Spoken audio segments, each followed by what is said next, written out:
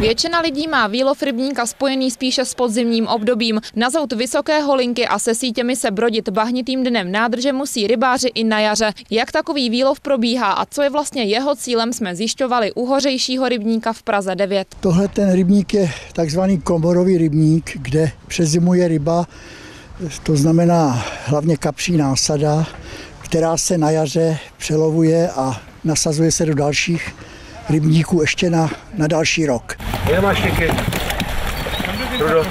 Oproti podzimnímu výlovu, po kterém ryby putují na trh, slouží jarní výlov spíše k jejich přemístění dále do chovných rybníků. Komorové rybníky, ve kterých ryby stráví zimu, mají navíc podle rybářů důležitou zdravotní úlohu. Je to důležité, protože ta ryba přezumuje v, těch, v komoře, tady je trvalý přítok, ta ryba je na jaře potom zdravotně způsobila. Kdyby jsme ji nechali třeba v nějakém tom jiném, tam jdou třeba nějaký odpadní vody nebo něco a tam by mohla dostat nemoc a tak dále. V rámci výlovu uspořádali také lesy hlavního města Prahy doprovodný program pro děti. Ten se zaměřil hlavně na český vodní svět. Pro děti jsme se tady připravili čtyři stanoviště. Snažili jsme se na tom stanovišti připravit nějaké zajímavé aktivity, aby ty děti to nenudilo.